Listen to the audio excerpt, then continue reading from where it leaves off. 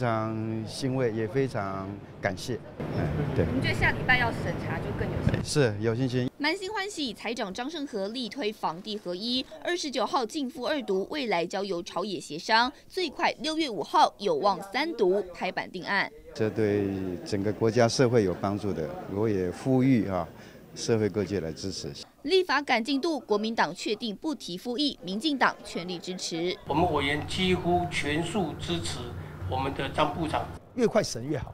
我们要支持这样越快的。呃，就分配正义的部分，这是民进党长期的主张。先凭房地合一过关，税制再放宽，继承、信托等非买卖取得、持有期间合并计算。假设三个儿子继承家产，必须卖房分家，一年内转手得课百分之四十五重税。把长辈持有年限合并计算，如果超过十年，税率只剩下百分之十五。昨天跟建商沟通，他们的十大疑义，我们一一澄清。